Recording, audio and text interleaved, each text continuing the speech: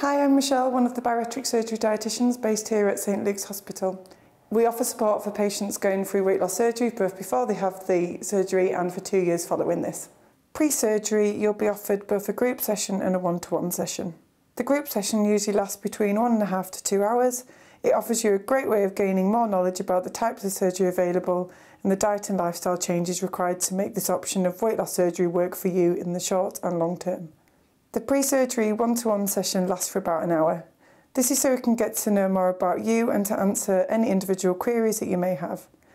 It's important to ensure that weight loss surgery is the right thing for you at this time and this session will help us to work through this, offering more support from other members of the bariatric team as required.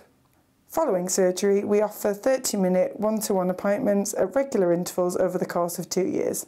This service is vital to ensure that you're eating appropriately, and taking the vitamins and minerals recommended in order to keep you safe and well in the long term. The sessions are aimed at people who have been referred by their consultant surgeon for consideration of weight loss surgery or for people who have already had surgery in Bradford or elsewhere and would like more support and advice. Referrals to this service are usually via consultant surgeon or GP.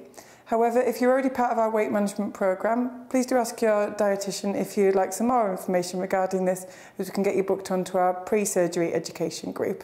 We look forward to seeing you soon.